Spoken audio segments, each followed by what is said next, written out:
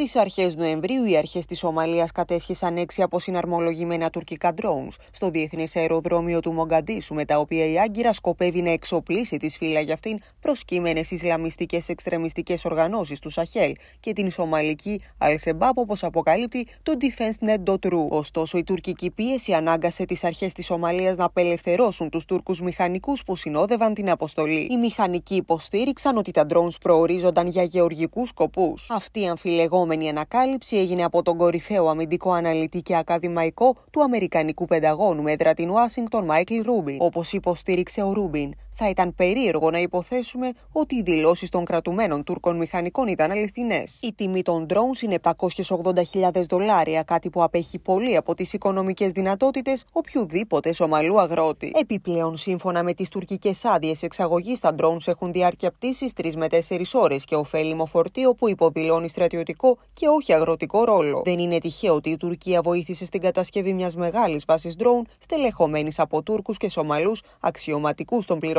πληροφοριών παράλληλα με την Εθνική Υπηρεσία Πληροφοριών και Ασφάλειας της Σομαλίας. Μια υπηρεσία που υποστηρίζει αντί να μπλοκάρει τις πιο ριζοσπαστικές τρομοκρατικές ομάδες της χώρας.